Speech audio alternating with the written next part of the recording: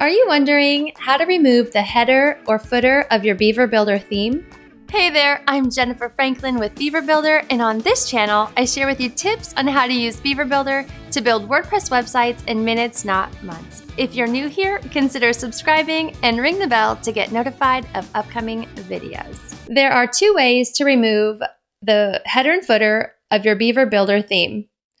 They are site wide in the customizer or you can remove both the header and footer on a per page basis. First, here's how to remove the header or footer site wide. From the front end of your WordPress, you can click Customize, or from the admin panel, click on Appearance and Customize to open up the customizer. To remove the header, click Header, and then click on Header Layout.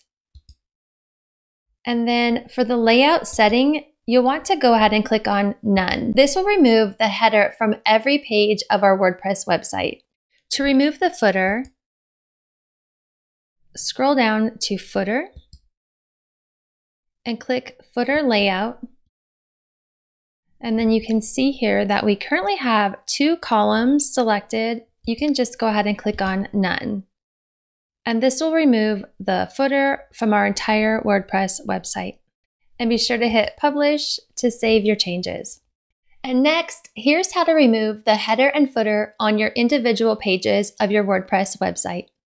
Either create a new page or click to open an existing page for WordPress editing.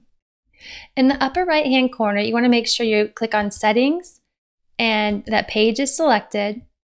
And then you'll want to scroll down to page attributes. Go ahead and hit that arrow button down. And under template, you can see here that it's selected for the default template.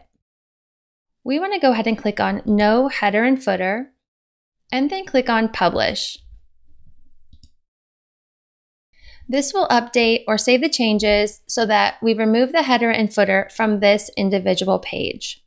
We can click on preview to view the page. And you can see here that the header and footer have been removed from this page. And that's it. I hope you found this video useful where I shared with you how to remove the header and or footer of your Beaver Builder theme. And of course, if you got any value out of this video, be sure to hit the like button and click to subscribe to this channel so you don't miss out on our upcoming videos. And we'll see you in the next video. Bye for now.